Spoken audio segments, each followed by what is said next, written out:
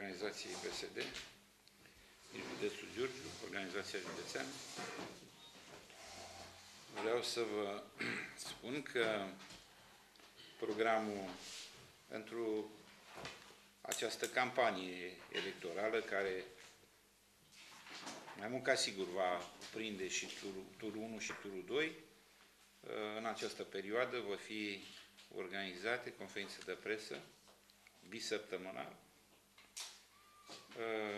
Marțea, la ora 14 și 15 și vinerea la 12 și 15 minute.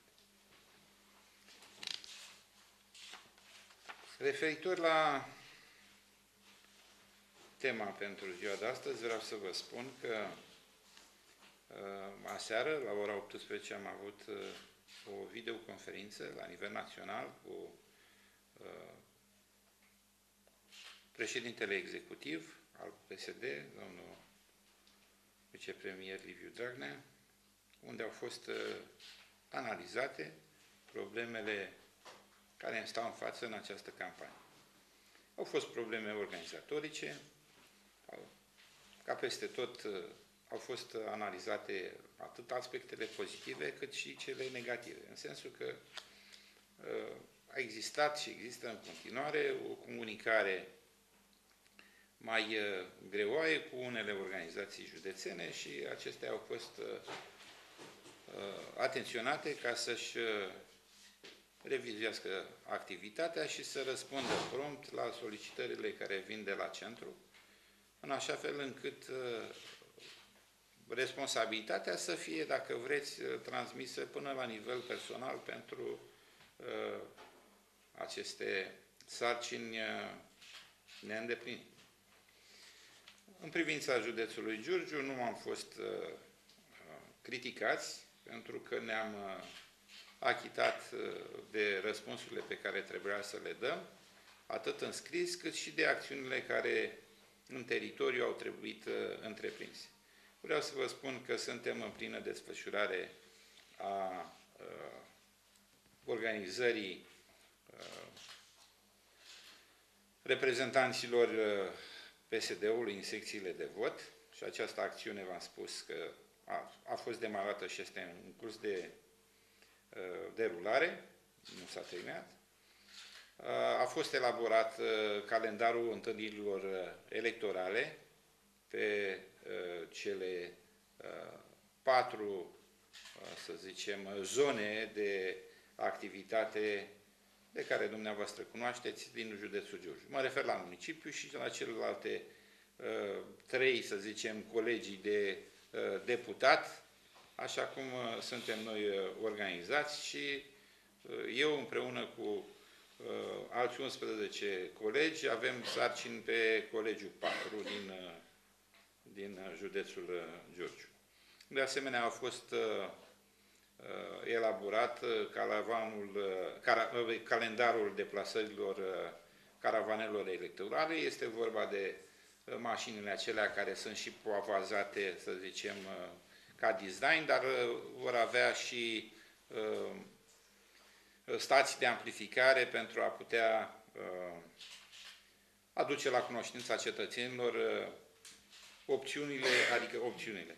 Uh, dorința noastră de a-i chema la vot și de a vota la prezidențiale pe domnul Victor Pronta, Victor nostru președinte, și de ce anume să-l voteze. Am spus că din această echipă din județul, uh, din județul, din uh, Colegiul 4, fac parte, eu sunt responsabil acestui uh, colegiu și am alături de mine încă 11 colegi care au, împreună cu care împărțim responsabilitatea pentru cele 17 OAT-uri din Colegiul 4. De asemenea, Uh, suntem organizați și am început să distribuim, probabil că ați observat și noastră în județ, uh, bannerele care au fost uh, montate și de asemenea afișele electorale cu candidatul președintele partidului nostru, domnul Ponta, în, în județ. De ce votăm noi și susținem candidatul nostru la prezidențiale, domnul premier Victor Ponta, pentru că are experiență în conducerea țării. Așa cum știți, a avut în lunga dânsului carieră activități de uh, ministru și mai apoi de uh, premier. Uh, este familiarizat cu problemele țării. Uh, ca și la premierul Năstase, nu există în paleta dânsului de uh, acțiuni domeniu economic, social, care să nu-l fi Uh, pe care să nu-l cunoască și în, uh, în interiorul căruia să nu fi uh, acționat pentru îmbunătățirea legislației și pentru a rezolva probleme cu care se confruntă acel domeniu. Și aici mă refer și la agricultură, și la învățământ, și la sănătate, și la externe, dacă vreți, și la interne, și la problemele sociale a pensionarilor, ale profesorilor, ale medicilor, ale elevilor, ale studenților și așa mai departe. Deci această activitate de premier, de ministru, mai întâi și de premier a domnului Victor Ponta, uh, mă face pe mine să recomand, personal, să recomand cetățenilor din județul Giurgiu să voteze ca președinte al țării pe domnul Victor Ponta, pentru că uh, nu vor fi uh, înșelați, dânsul va fi un președinte al tuturor românilor, va fi un președinte mediator, de care uh, avem uh, nevoie. Vreau să vă spun acum uh, că este... Ați văzut și dumneavoastră știrea aceea cu uh, Lucoilul la nivel uh, național. Uh, guvernul uh, este foarte clar în, uh, ca opțiune. Uh, Lucoil trebuie să plătească statului taxele datorate și trebuie să respecte legea. În același timp este de datoria executivului să fie preocupat de stabilitatea locurilor de muncă, pentru că undeva la 3300 de, de uh, salariați au această companie și nu ne este guvernului și nouă românilor nu ne este indiferent uh, uh, situația acestor salariați ai companiei. Sigur că președintele a venit și are o cu totul altă părere, dar probabil că în spatele acestor acțiuni ale dânsului sunt uh, niște uh, probleme mai vechi vis-a-vis -vis de campania din 2002, care nu știu eu ce s-a întâmplat atunci, dar probabil că se intenționează, să zicem, uh, să fie rezolvate acele probleme din trecut. Uh, în privința activității din județul Giurgiu, uh, cunoaștem că ziua de 20 Uh, octombrie ar fi uh, o zi în care pre președintele PSD, premierul Ponta, ar face o vizită la Giurgiu. Uh, așteptăm să fim anunțați pentru ca să putem să ne organizăm așa cum trebuie această vizită. Domnul director? După cum a spus și domnul președinte, la nivel de la nivel de județ, PSD-ul este organizat în patru colegii, între care dânsul este responsabilul colegiului 4 și alături de ceilalți colegi de la deconcentrate sau alți colegi de bază din partid, ne dăm toată silința ca să putem să-l ajutăm să putem să obținem un rezultat foarte bun, nu bun, foarte bun pentru domnul, pot să spun de acum, domnul președinte Victor Ponte. Noi deja suntem organizați cu aceste trasee, cum trebuie să ne desfășurăm activitatea, pe ce ne avem în uh, ce comune vizăm ca să putem să ne uh, să, ne, să putem să anunțăm, să scoatem electoratul la, la vot, în așa fel încât considerăm că peste 70% uh, vom avea votanți pe domn, la președinție pe domnul Victor Ponta. Uh, eu ce vreau să vă mai adaug. În afară de ceea ce a spus domnul președinte, că în această perioadă de guvernare, în care domnul Victor Ponta, ca prim-ministru, a adus o creștere a economiei până la 3 la 3,5%, în condițiile în care pe extern era o stagnare sau o creștere mai mică, noi în România am avut, cum, cum știți, o creștere destul de substanțială. Uh, de ce vreau să vă spun chestia asta? Pentru că a contribuit, între toate, la această creștere și Agenția Națională de Cadastru și Publicitate Imobiliară uh, și la nivel de oraș Giurgiu, de județul Giurgiu, Oficiul de Cadastru și Publicitate Imobiliară, al cărui director sunt actualmente. Și aș vrea să vă spun că în ajutorul cetățeanului a venit agenția să plătească câte 6 lei pe hectar vis-a-vis -vis de legea 165 pentru inventarierea uh, terenurilor, suprafețelor de teren din fiecare OAT în vederea retrocedării acestora celor care au fost luate pe timpul Ceaușescu, le s-a fost luat terenul abuziv. Ca să nu plătească, să nu vină, să plătească numai, să suporte aceste cheltuieli, numai primările sau numai guvernul, din fondurile noastre proprii, că începând cu 1 septembrie 2014 am trecut pe autofinanțare, din, propriile noastre, din fondurile noastre proprii plătim aceste și ajutăm uh, aceste primării cu 6 lei pe hectar.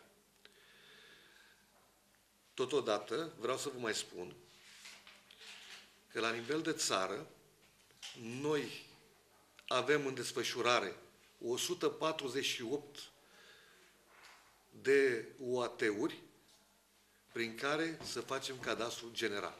Între care județul Giurgiu este și el prevăzut cu două UAT-uri, Malu și Vedea, și e prima, prima etapă, ca până în 2013, do, uh, da, 2013, până în 2023, să putem să finalizăm această, acest cadastru general. Uh, eu vreau să accentuez chestia asta pentru că vreau să și expun uh, pe cadastru general această chestie pe care o cunosc foarte bine și vreau să fie și puțin mediatizată, că noi contribuim și ajutăm cetățeanul să nu mai plătească pentru un autorizat, pentru un cadastru, câte 6, 7, 8, 10 milioane de lei, depinde de zona de, uh, în care este fiecare, să plătească un 60, un 120 de roli. Uh, da, 120 de roli, 1.200.000 de lei vechi. Deci, ok, uh, acest lucru nu este, n-a fost ușor, și a fost făcut și noi suntem, aparținem la ora actuală de Ministerul Dezvoltării, care Ministerul al Dezvoltării ne asigură salariile, iar toate încasările noastre sunt puse în slujba cetățeanului. Tot ce încasăm pentru acest cadastru general, ca cetățeanul să nu mai plătească nimic, să nu mai suporte din buzunar acest, aceste intabulări. Dacă aveți întrebări pe linie de cadastru sau particularități, că știm foarte bine și știți și dumneavoastră că am avut destule și procese și ați venit și ați mai anchetat și pe la noi, ad, uh, unii dintre dumneavoastră, cu suprapuneri care sunt pe, la nivel cadastral, uh, vă rog să-mi spuneți. Dar nu cred că face obiectul acestei uh, uh, conferințe. Obiectul conferinței a fost și este alegerile după data de 2 noiembrie și după 16 luni. Deci noi nu credem, nu că nu credem, suntem siguri că avem o forță și suntem o forță în acest județ, pentru că avem și primari, care sunt foarte mulți primari aproape, alături de noi. Avem oamenii care sunt, au conștientizat această creștere economică și chiar dacă nu se vede la toată lumea, acest nivel de trai a crescut cât, cât de puțin pentru fiecare. În rest, dacă ați vrea să vă dăm, un, dacă vă interesează traseul sau alte probleme la nivel de județ, noi vă putem uh, sta la dispoziție cu tot ce Ulterior, doriți noastră. ulterior. Vreau să mai adaug eu ceva. Uh, După cum uh, ați fost anunțați ieri, uh, uh, au uh, fost, uh, să zicem, încheiate transferurile acestea după ordonanța 55. Ați fost informați că PSD-ul are număr acum, un număr de 44 de primari, la care se adaugă UNPR-ul în primar și PC-ul cum primar. Uh, Totodată vreau să vă informez că în urma unei activități, să zicem, uh, asidue de colaborare între, între organizația județeană PSD și uh, primarii acestor, primarii, repet, primarii din, din comunele județului Giurgiu, am, au fost întocmite solicitări pentru finanțarea a peste 100 de, nu, circa 100 de proiecte în continuare și proiecte noi. Următorul ordin al Ministrului pentru Județul Giurgiu, Ministrul Dezvoltării și Administrației Publice, Dezvoltării Regionale. Suma ce va fi alocată va fi de circa 227 de miliarde de lei uh, vechi pentru lucrări de apă, canalizare și modernizări de drumuri comunale în uh,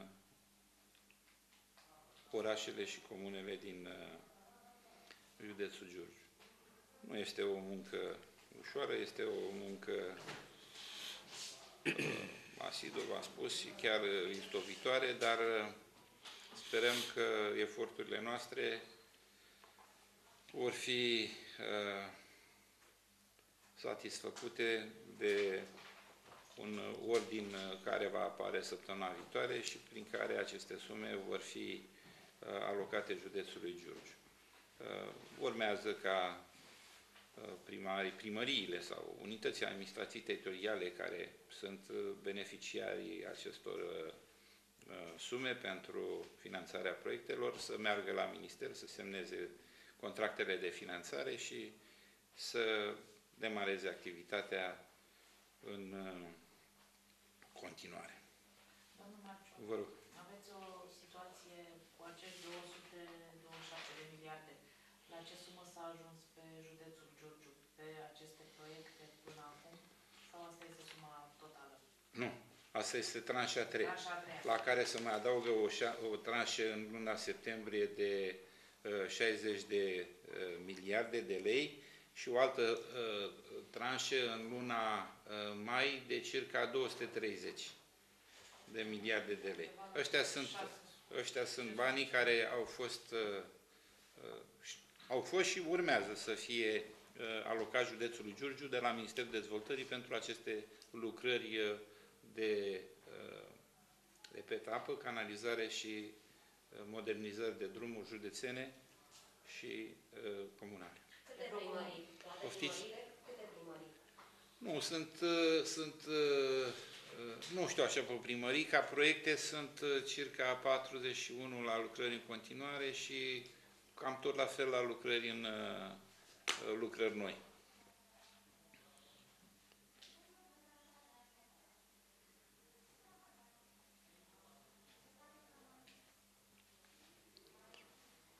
Sigur, sunt, pr- sunt uh, primării care au două sau trei proiecte, sau patru proiecte, altele care au câte unul, dar uh, am fost uh, cu dâns și la Ministerul Dezvoltării, sigur, dacă sunt în finanțare, au trecut de Comisia Tehnică, au uh, încheiat contractele. Condamnă colegul și are dreptate. E vorba de 26 tei pe care oamenii rămân în continuare nemulțumiți pentru că deși a fost semnat contractul, știți bine, nu s-a demarat lucrarea. Zicem, uh, Comana, Mihai Bravo, mai departe de ghimpați, o să aibă aceea soartă de aceea. Deși, așa cum spun,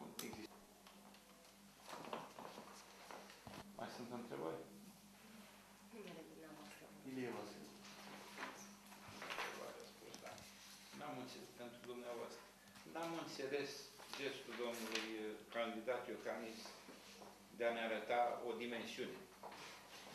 Ce vrea să cuprindă între brațele dânsului, nu înțeleg. Toată România nu crede că Nu înțeleg. Adică eu cred că președintele Ponta este un om care va da cu de întregul, nu pe, pe dimensiuni.